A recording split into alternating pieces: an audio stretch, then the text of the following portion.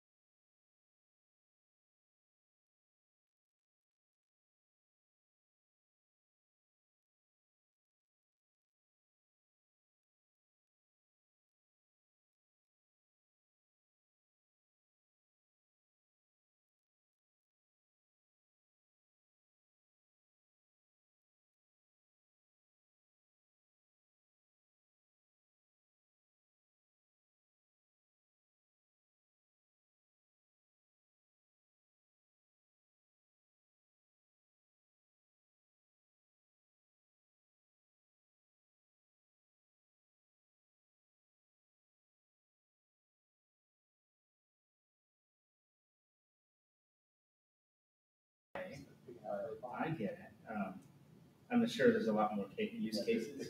Um, Yeah, I mean, birthday parties, um, influencer stuff, you know. Uh, the tricky thing with POAPs is making sure that the unique string doesn't get out into the internet.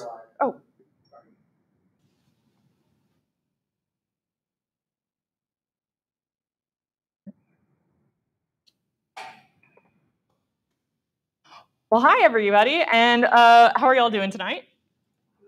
Good. Glad to hear it. Thanks so much for having me. Isn't it crazy? It's already September.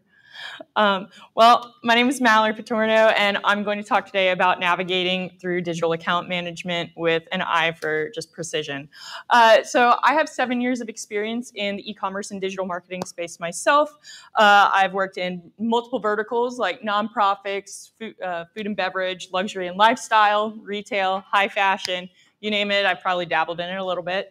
Uh, I have a unique experience where I have been not only the client, but I've also acted as the agency, um, also as the brand, and then the owner of individual franchises. Uh, today, I'm currently a senior e-commerce manager with Aimbridge Hospitality. Uh, so I'm responsible for how a handful of IHGs and Hiltons in the United States look, act, and feel online. I'm also the IHG brand champion for my company. So basically, I help uh, innovate the brand and I maintain a strategic relationship with them on behalf of my enterprise. I'm actually not the only Aimbridge digital person in the room. Bart Peters at DFW SEM, he's our senior manager of SEO. Uh, and he's, you know, a fantastic resource. Hey, Bart, hope you're doing well tonight. Thanks, Mallory. So today I'm going to talk about digital account management, some best practices, and the experience that helped me form them along the way. Whether that's hiring and firing agencies, uh, the importance of utilizing various methods of communication, or just ensuring that you're staying well inside of uh, different types of policies, we're going to cover quite a few things. Before I get too far into it, I will acknowledge I am the fastest talking Cajun you will ever meet. So please bear with me. Um, and Kevin, I'm volunteering you that if I start to sound like a runaway train, you're going to let me know. So when I was asked to come and speak with y'all, I was really having trouble hammering down on a specific topic or a single story um, of what I was going to share. And Bart actually suggested that I take more of an omni-channel approach and discuss just overarching account management. So if you don't like today's conversation, you can direct your complaints to Bart. It's no secret that digital marketing and e-commerce uh, is challenging even when we aren't in a global pandemic between meeting clients' expectations versus the realities that we're able to actualize, uh, to being a fireman and you know trying to address things as they pop up, different emergencies, and also staying abreast of best practices from a variety of sources. It's not always a walk in the virtual park. So I'm going to go over a handful of key points, about 11 of them or so, of things to keep in mind during onboarding and when you're talking to a client for the first few times. And then also things to keep in mind throughout navigating the relationship to make sure that everything is as optimized for not only your client and yourself. The first thing that I always make sure that I'm doing is setting realistic expectations. I want to know what the client's KPIs are. Also, are they obtainable within the time frame that you know, we can actually work with them. Uh, also, means and frequency of communication. So I want to make sure that the client knows how I work and the best way to work with me. If that's a ticketing system versus sending me an email, I'm going to make sure my client knows that on day one. I want to make sure that my clients don't feel marooned on a digital island whenever I'm on PTO or away from my desk. I want to make sure that they know what support is available and how to efficiently get that support. I also really hammer down on being transparent and the need for it. You know, I'm one to always make sure that my client knows whenever I'm facing a challenge or a restraint based on our industry, but then I'm also quick to provide solutions. I'm sure not the only person uh, today that has been asked to build a last minute landing page for an event that's three days away because we want to capture some of the demand that it's generating. Well, no, unfortunately, it's going to take that long just to build a page, much less deploy it live. But can we leverage a channel that's already has high levels of visibility, do a sponsored ad, and pay a premium to perhaps get more impressions and in turn then conversions? That's a little bit more likely. I also make sure that my clients know whenever they're giving me five-star yacht dreams and funding me like a dinghy. Uh, you're not giving your channels a fair shake. And even though you're going to want to get ABC as a result, we may in actuality have XYZ happening, and I'm gonna make sure that you know about it on that first day. We need to have crucial and candid conversations so that we can maintain and ha have a positive working relationship and grow our digital footprint. And I also make sure that I address these constraints before we are 60 to 90 days in and having a first check-in for the sake of trust. Uh, a client, if you, you know, go to them and you tell them that we need to make modifications that maybe you were already aware of going in, well, that's going to break that trust a little bit. They're going to ask, why didn't you tell me about this sooner, uh, knowing that we need to fund more. Communication is important during business as usual times um, because it matters tenfold during times of crises. By providing how you're best communicated with in advance, during moments where it really matters, your client is going to know where to look and how to communicate with you. So I have a real, first of many real life examples. Uh, I recently had a situation where a brand that I supported had its online presence jeopardized for days.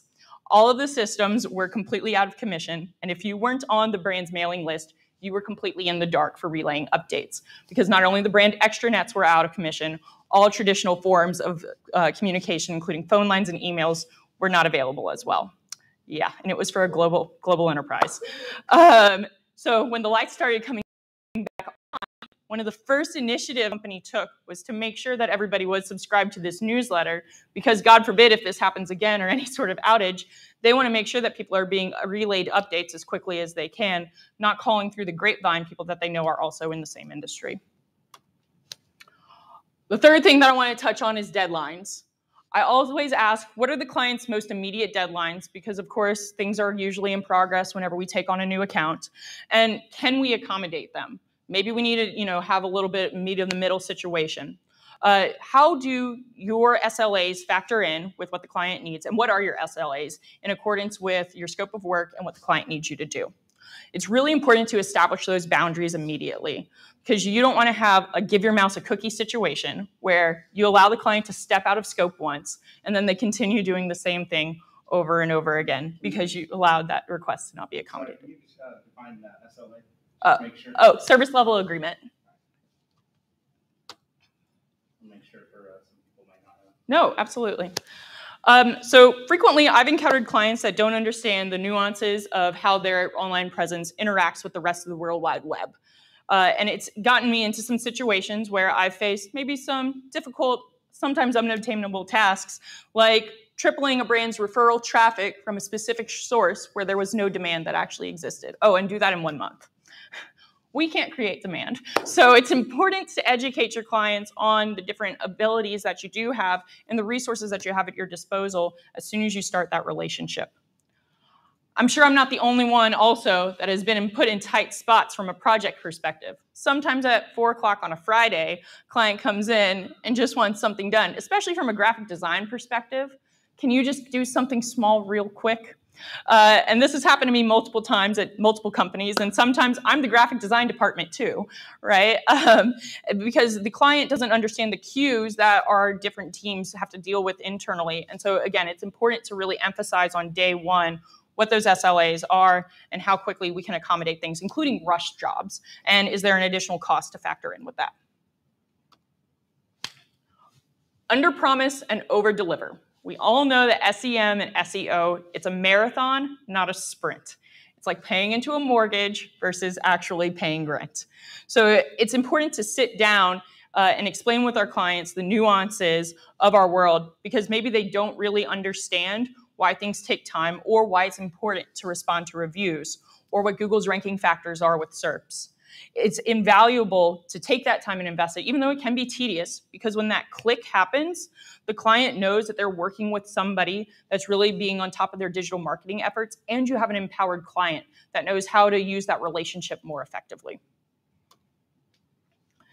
on that note, it's always important to keep yourself educated. I make sure that I'm always educating myself and staying abreast of best practices, getting continuing education units whenever possible.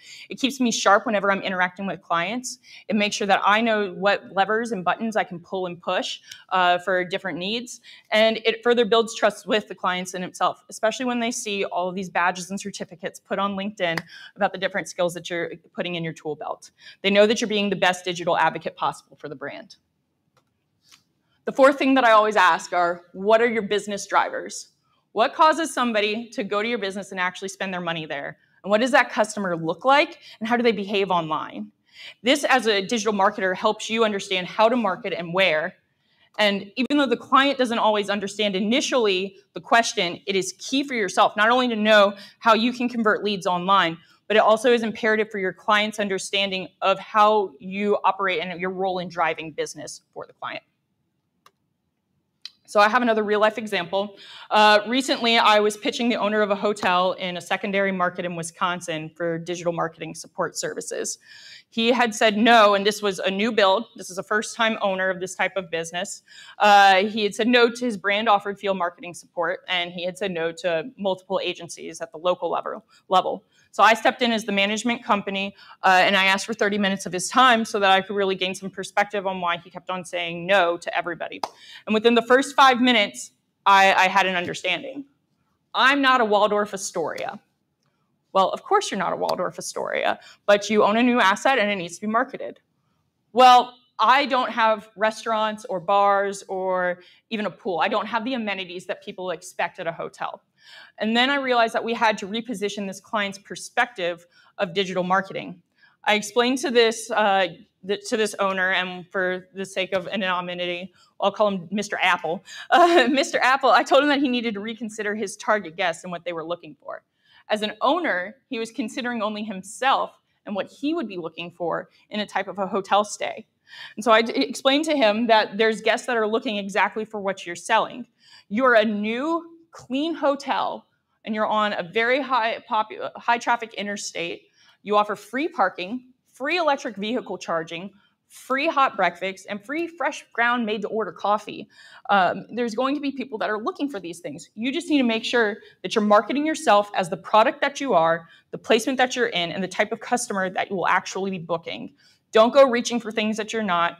Know who you are and operate in that lane. Mr. Apple signed up for services that day, and now we have a 15 to 1 return on ad spend on all the initiatives that we're working through. The fifth thing that I want to make sure that we're doing is that we're preparing ourselves for roadblocks 100 miles before they happen. I like to ask my clients, what have you done that you've liked? What have you done that you hated? And maybe we can modify some of those things to fit in with overarching digital strategy. I've had a hotel that has told me, I know that I am in a great market for weddings. I know that my building would be great for weddings, but I never want to do a wedding. And this is coming from the owner of the property. Do not come to me with wedding business. It is a logistical nightmare for me. And also, my existing guests don't like being interrupted with weddings. We've tried it way too many times in the past. So, you know, when they tell me something as matter of factly as that, it really doesn't matter what my opinion is on the topic. I wouldn't bring it up because I don't want to risk not looking sensitive to the client's desires for promotion and branding in mind. We always have to keep the client's branding in mind whenever we're operating, even as an agency. I've also had a restaurant client that loved doing giveaways, really with no rhyme or reason before I came on board. They just liked having uh, social engagement, nothing that would actually drive business. So I came in and we had a conversation and we decided to, we would have giveaways whenever we would do new product rollouts. And even if people didn't win the contest, we would give them a 10% off coupon that they would have to redeem in store. And so maybe they would be purchasing something from it. Um, I know that I probably don't have too many Louisianians in the room, but king cake is one of the best things since sliced bread, and it is a type of sliced bread where I'm from.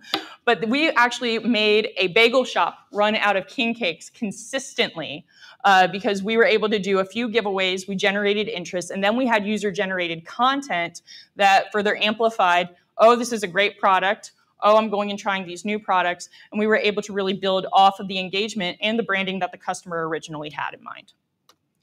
And while we're talking about branding, it's important whenever you're talking to a client for the first or second time about their creative and their copy. So, how long do you think the typical customer looks at any sort of digital ad? Do you think it's five seconds? You think it's two? You think it's three? What do you think, Bart? Okay, it's actually eight, but that is the same as a goldfish. So we need to make sure that we're having that real moment of opportunity. We're maximizing it with the little goldfish that are looking at our ads online. So that means that we're employing an effective CTA. We're using the best imagery possible. And we're really putting ourselves out there with an offer that will cause somebody, again, with that eight second time frame, to go think about the value and click to be driven one of your channels. And again, if they have their, their current ads, it's fantastic to look at them and see if there's any opportunity for improvement immediately. The next thing that I always ask clients, if there was a magic wand that I can wave from digital marketing, an e-commerce perspective, what would it be? And usually that's to make money appear instantly on the table. And of course, that's not feasible. But do we have resources that can reduce the cost, perhaps outsource a task that was typically delegated to a full-time employee that you're paying benefits to? Absolutely. And that's when leveraging your network becomes really important. And I'll talk about that later. I also ask about what are some frequent operational issues. What are your biggest pain points? Um, in the hotel world, I frequently hear people are wanting free breakfast and we've never given free breakfast. Um, in the retail world, I would have to deal with slow moving inventory. Back in yesteryear, I was in charge of promotions and advertising for a large vapor manufacturer and retailer. We had over 180 SKUs. So you can imagine some moved great, others, like black jelly bean, not so much. Uh, but it happened to be the start of February when I was posed with the question can you help us move the bottom 25 SKUs so that we can either sell out or manage you know the remaining of the inventory and let it you know expire and we'll know not to let it restock so i came up with doing a bracket challenge. So the bracket challenge had a couple of different uh, elements going to it. So i picked the 25 i took the 25 low performing skus and then i sprinkled in a couple of mid-tier performers that way to generate a little bit of initial consumer interest. We let uh, the customers go and take this bracket like you would with an NCAA bracket and predict if you matched up certain flavors against certain flavors, who would be the ultimate winner. And if you were correct and your bracket wasn't busted, you won free e-juice for life. And of course, I needed to sit down with my employer multiple times and assure them through math that that was statistically impossible, and we were just going to be generating uh, direct traffic and reducing inventory at the same time. So the part of the uh, contest, right, of, of, the campaign was that we had people that they had to verify their accounts through uh, ID. So you could only have one account per person. And so we allowed the accounts to log in and vote daily on a landing page to determine the matchup winners. And they could go for as many times as they wanted to during the voting period. Uh, better the, the discounts got better as the different flavors progressed. And we promised 40% off of the winning e-liquid flavor for the entire month of April. So we saw a spike in user generated content. Not only did we want did customers want different flavors to keep moving through the, the process because they were their favorite flavors. We also saw people creating new accounts, like encouraging their friends and family that were smokers to get in and to learn what the product was like. Uh, and we had the entire company in on it. Uh, it was an all hands on deck experience. And so actually I'm going to show you a video of part of this campaign.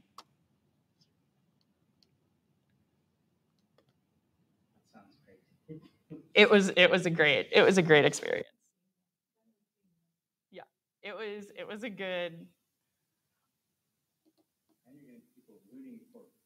For flavors, and they were getting competitive about them too.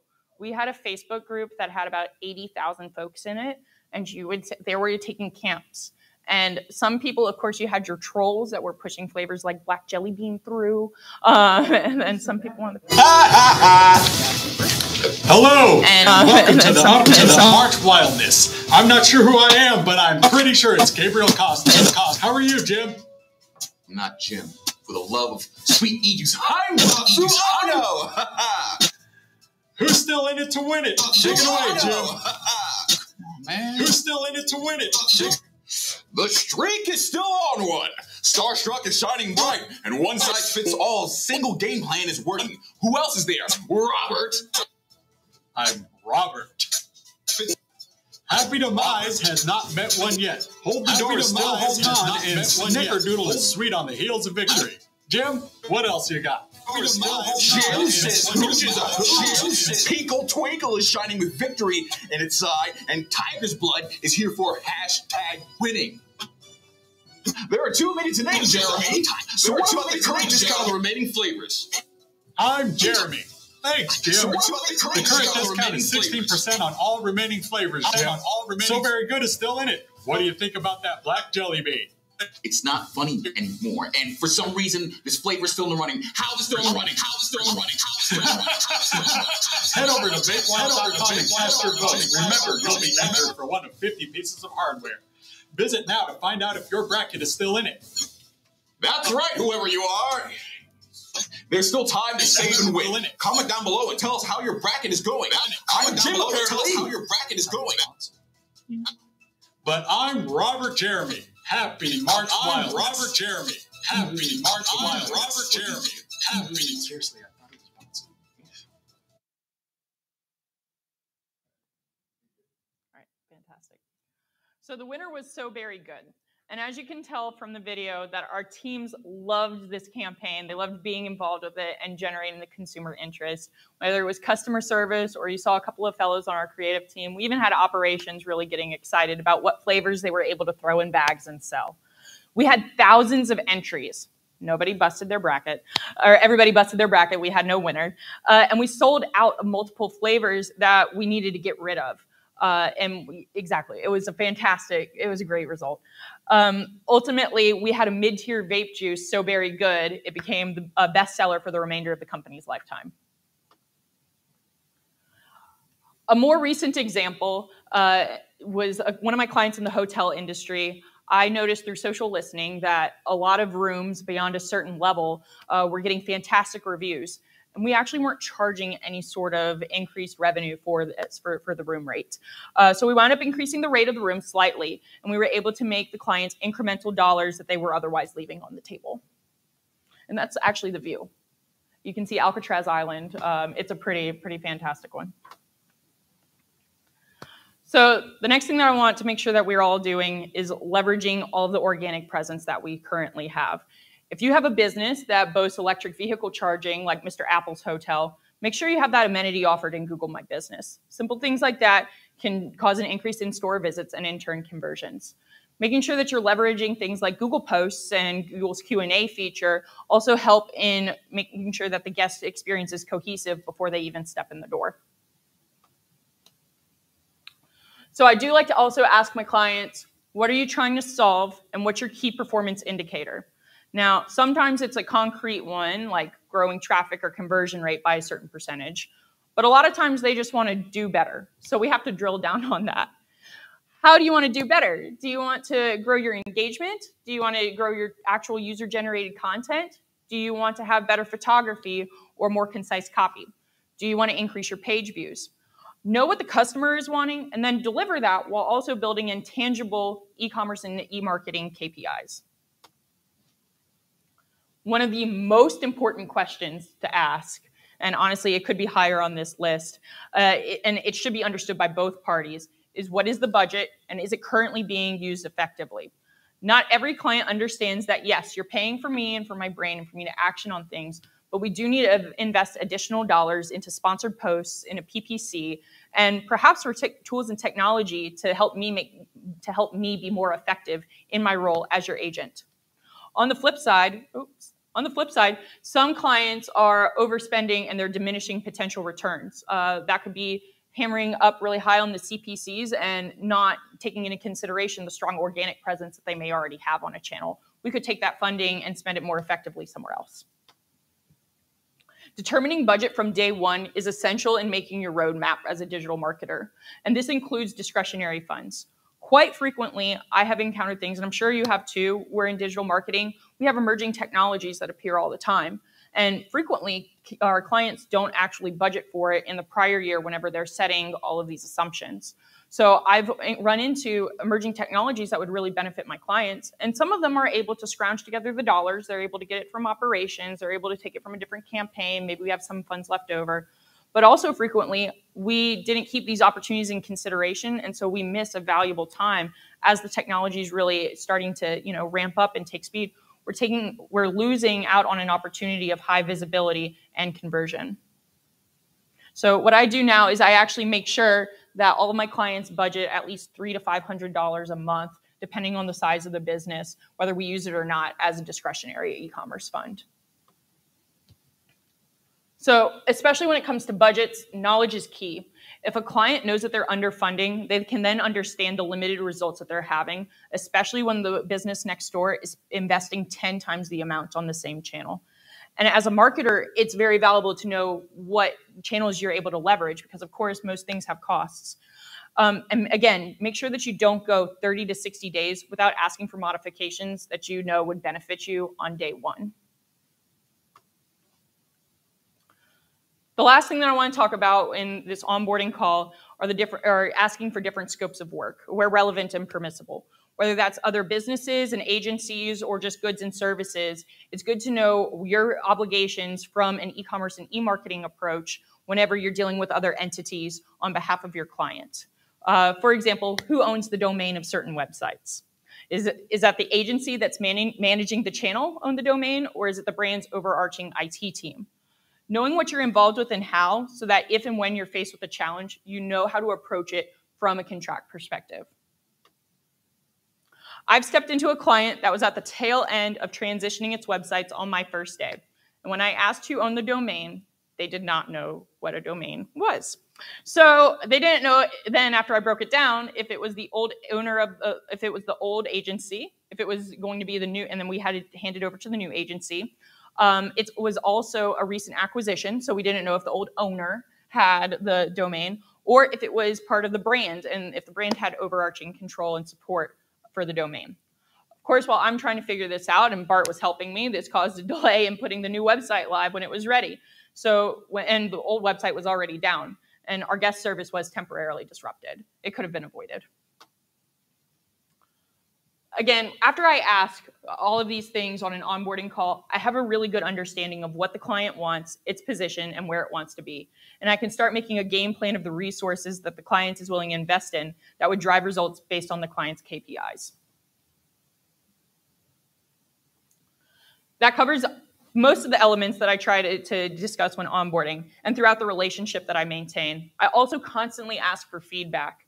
Um, and I schedule an opportunity, if not on a monthly, then on a quarterly basis, that's specifically for going over campaign success and talking with our client. So about production, any opportunities, and if the client felt like we left anything on the table. And the same goes for me, right? It's a two-way transparent communication opportunity. So now that you made it through onboarding, what else? These are just a few things to keep in mind throughout maintaining the relationship. First and foremost, make sure that you're leveraging your network. Of course, a lot of us in this room probably have multiple skills that span a decent portion of the digital marketing sphere, but that doesn't mean that we should rely on only ourselves to get the job done without any help. If you're part of an agency, make sure that you're relying on the subject matter experts that can quickly resolve a question for you versus you getting caught in the weeds over something that is not your bread and butter. And if you're solo, that's fine. Use those LinkedIn and DFW SEM connections, et cetera, to get those questions answered and so that you can do your job as efficiently as possible. Instead of competing, empower. Your network is your net worth. When navigating client relationships, it's really important to know the political nuances of these relationships. It's equally as important as the tangible KPIs that we're trying to pursue. You need to know as an agency uh, when you need to talk to the client, that's actually the person on the front lines of the business, maybe a manager of the subject matter on the regional level, or uh, you know a regional vice president if you're dealing with a large corporation, um, or do you need to talk directly to the owner of the business themselves? That's something that takes time, but it's invaluable to learn because not only does it help you build that rapport and become invaluable to the team, it shows that you're able to respect the relationships and you'll advance yourself with the company. So from budgets to approvals, recognizing your key players makes work more manageable. I've had to interact in all of these hypothetical relationships. Of course, it, terms, it takes time to learn the subject matter areas and how to work with different personalities. But whenever you're able to do that, once it clicks, you're able to be a much more effective and efficient digital marketer. From budgets to campaign approvals, it makes it more manageable. On that note, it's important to recognize when you need outside help and when to let it go. I'm going to talk about agencies for a second. When I'm looking for an agency to work with or thinking that I'm in a place where I need to consider working with an agency, I ask myself, what are the key business functions that I'm lacking in, either experience or bandwidth, and sometimes both. And that's okay, it happens. Uh, then you want to think about who's capable and qualified to fill those needs. And again, it's important to leverage your network then because your network may have somebody or may be able to refer somebody that they really trust to fill those needs. And on the flip side, they may tell you to run away from somebody that didn't do them a favor. So here's a real life example. Managing an agency relationship is an active job that requires almost daily communication. So when I worked for the vapor retailer, one of my hats that I had to wear was managing an affiliate marketing program about 500 affiliates strong at any given time. So we brought on Adam, who's actually been a past speaker at DFW SEM, to help me navigate the affiliate relationships. Adam and I were in contact almost daily, and I was responsible for coordinating his and I's efforts with everybody else at my companies, whether that was creative, operations, or sales. I was putting in effort, extra effort to maintain that relationship and ensure it was effective. I had to make sure that Adam understood how my company operated, and I had to make sure how my company understood that my company understood how Adam operated. And so it was an interesting time. Hi, Adam, if you're watching this. I also, on the flip side, have examples of firing an agency. So on one day after I joined a, a, client, I did an audit of its digital marketing channels, and I saw that we had a vanity website that was very lackluster, um, for a lack of better words. Uh, so I brought this up to my internal team. Uh, that there were obvious holes in support. We're in the year 2021, and you have web pages talking about 2017 graduation. Congratulations we needed to do, we had some holes that we needed to fill there and i really didn't think that this vendor was doing us any favors. We were paying them thousands of dollars a month to maintain and to develop this website and to do different digital marketing activities that just simply weren't happening. It took my team some time to, to trust me. They told me on that first day they said hey we hear you what you're saying but we need you to put in a little bit more effort with this agency to ensure that it's nothing on our end.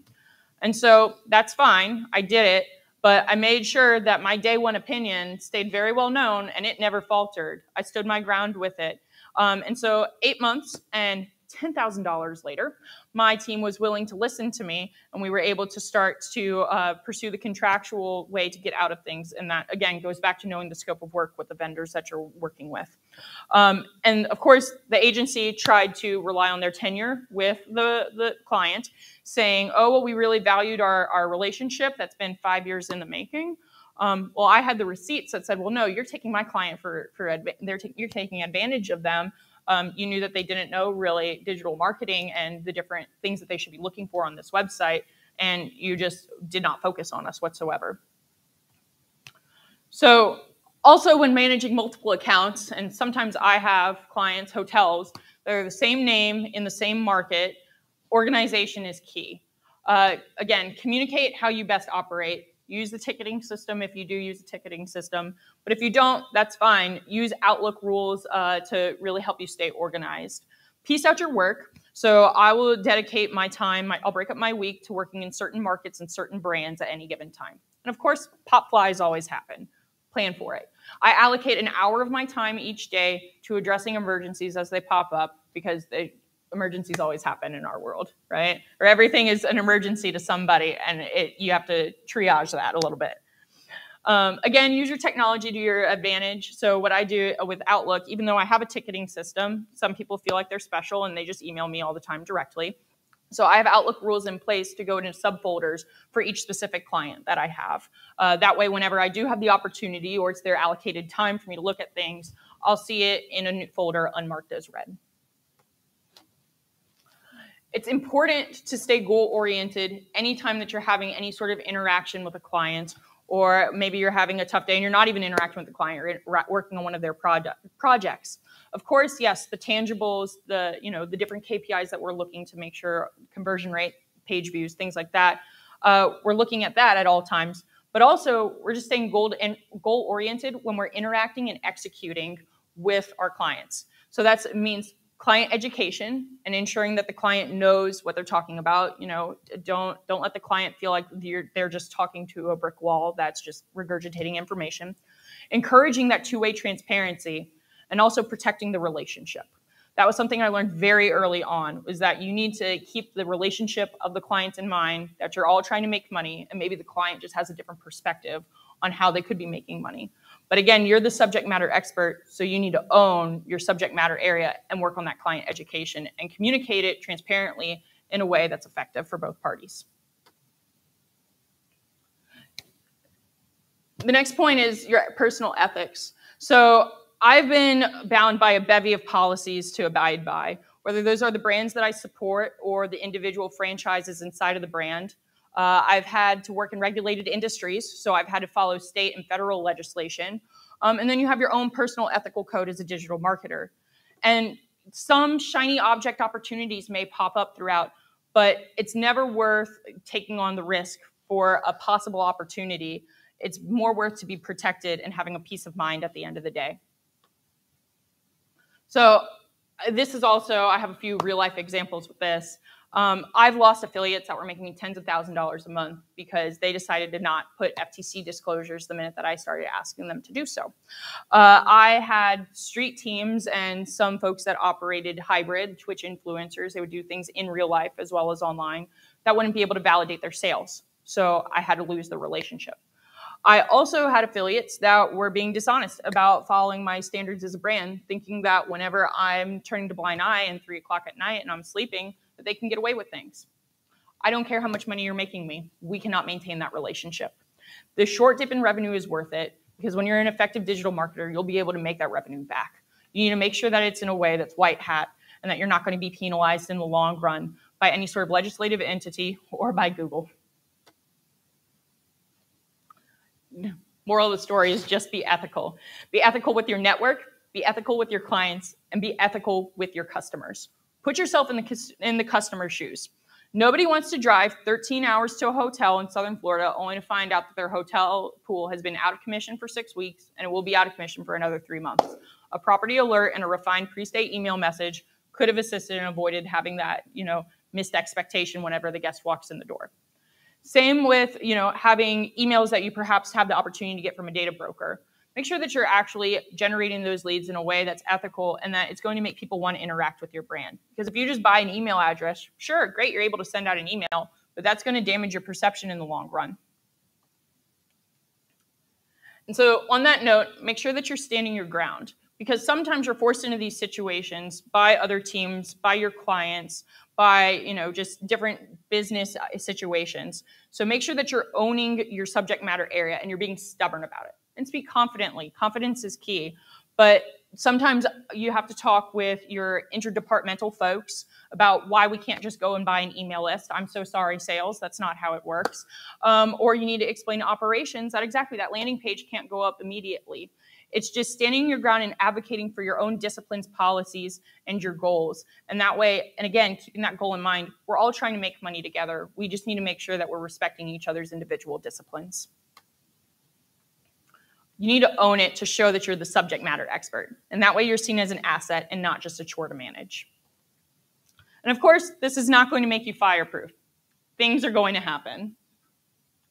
Accidental website migrations, they happen to where you suddenly have to put on your content management hard hat and go and investigate why every single bottle of vape juice on your website is replaced with a Nikon camera. And you go and switch the photos out, and then you need to make sure that every link online does indeed link to vape juice.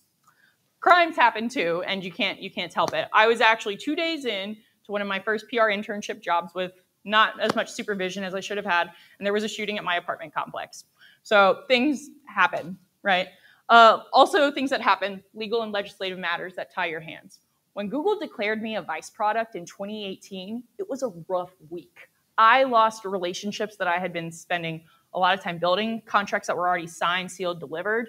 But I mean, not even Adopt a Highway wanted to work with me anymore. It was, and then on top of that, I was facing scrutiny from the media, and I was seeing governors uh, declare the e commerce sale of my good illegal which for an e-commerce company, I'm sure you can imagine how bad that was and how that ended up. But that's okay because with all of those fires come all of the wins.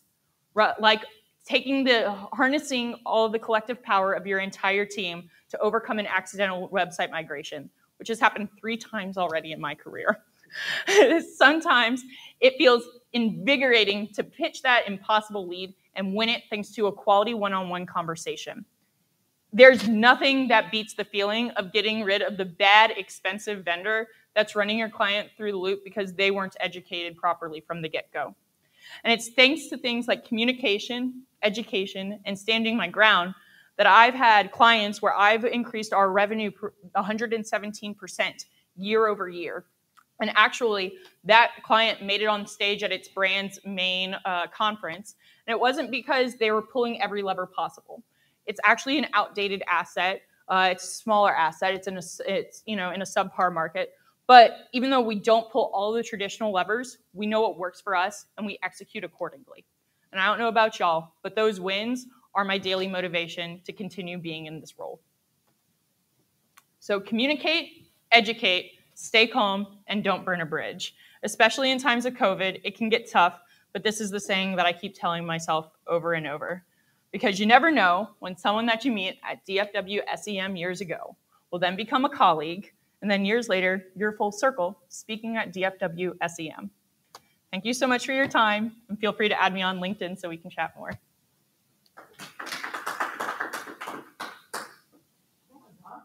Thank you.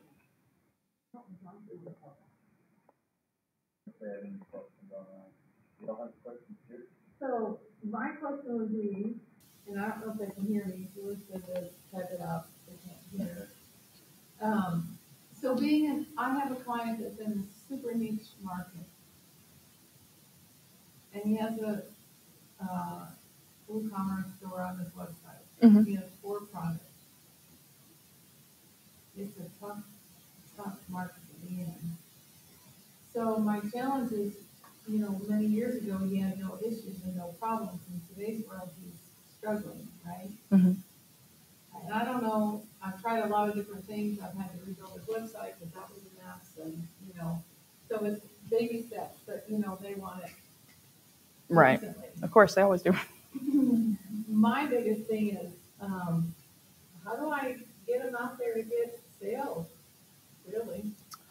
Um, I will frequently edu- send to my clients if I see any helpful webinars or things like that that would further incentivize them to be out in the field more um, because it's a hand in hand thing, right? We are responsible for the digital piece and generating leads online, but you definitely need to have an offline presence as well to further bolster that. Not every e-commerce store. I was very unique with the vapor manufacturer because that did start out as solely e-commerce and then we branched into brick and mortar. Um, not every company is going to be like that. So it really is encouraging whether it's doing small trade shows, um, farmers markets, things like that. I'm not really, I don't know what product, type of product line Well, it is, but chemicals. oh, okay. So never mind. Don't go to don't go to farmers markets, but trade shows. It's, it's chemicals. Okay. Or New manufacturing. market for farmers. Yeah. Okay, interesting. Pomblin, Pomblin and Kryptos, those are the two chemicals. Okay. you know, So, Interesting. Yeah, um, I would say, you know, try to see what industry resources are out there, whether it's a network that he can be part of, um, and it's it's kind of like a BNI type where you, you know, are able to trade business with one another. yeah. That would be one of my first first things to try to tackle. Let's see. Did we have any other questions? So I caught that, uh, I caught about the trust signals for an already existing customer, continuing to reinforce your own skill set, like Mhm. that way. I've always thought of it as like a sales thing. But like you're talking about, like after the fact, making sure that, you know, Mm-hmm. lining up that stuff so they know the expertise that you've got. Well, yeah. Looking you up, going, oh, okay, I feel, I feel increasingly confident. Well, once you've signed the contract, that's when the real work begins. You have to maintain that relationship. That way, your competition doesn't go in and try to poach the business from you. Always keep selling, right? hmm We're all in sales. Yeah. I like that a lot. That bracket was brilliant. Thank you. That bracket was brilliant. Thank you. I uh, I enjoy being approached with business issues and you know things that we can do creatively, and and that job was really fun. We get we got to throw spaghetti at the wall when it came to to e-commerce and digital marketing. So and they just let me run with things all the time. Uh, when consumer trust in e-liquid started to get really damaged, uh, I was the only vapor company, to my knowledge, that actually brought in a very large YouTuber to come back into our factory and do a segment e-liquid, how it's made. And they followed a bottle of e-juice from its start in the manufacturing facility until it wound up being shipped out the door. Um, and then it followed the shipping process as well. hmm Brilliant. It was Did fun. you get like crossover, like, or promotional money from a Big, uh, Big Mac flavor? No, we didn't. Uh, the McDelicious though, that was it was a whole thing in itself. It was a very polarizing flavor. But again, we had it was very unique because this company we had the warehouse side, which had the factories and the labs and where everything was stored and sent out. And then you had the corporate office immediately in the same building. So I would walk over to research and development and say, "Hey, I'm bringing in an influencer, the same influence I brought back for eJuice, how it's made." I was like, he told me that his favorite thing to eat is chicken fried steak and mashed potatoes. Can we make an e-juice out of it? And so then we did vape roulette with the influencer. And sometimes the hits of the, the chicken fried steak were good. Sometimes they had like actual like pepper hits in it too. And so it would, yeah, it was really funny. You can still watch a lot of the VapeWild YouTube videos. They have some of them up still, and they're extremely entertaining. VapeWild. We were serious about vaping and not much else. Sounds like the, uh, that Will It Blend guy. Remember that song? Yeah, yeah. No, Are we Not around anymore? no, actually, we uh, the company collapsed with the rise of the PMTA requirements. So it was going to require, and that was one of the reasons why I had to uh, cut down on SKUs um, during the early days of the PMTA rollout.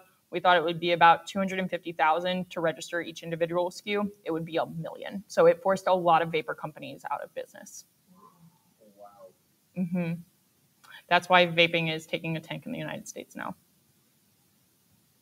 And that's a whole different co- topic I could talk about is how big tobacco is just messing with the vapor industry. Oh, I'm sure they are. hmm Yeah, they've been around too long. They're not gonna let you come in and take over. We were taking way too big of a hit out of their sales. That's right. So, yeah. That's right. Yeah. That was fantastic. Well, thank you all so much. I appreciate it. Thank you so much. Oh, yeah, no. I learned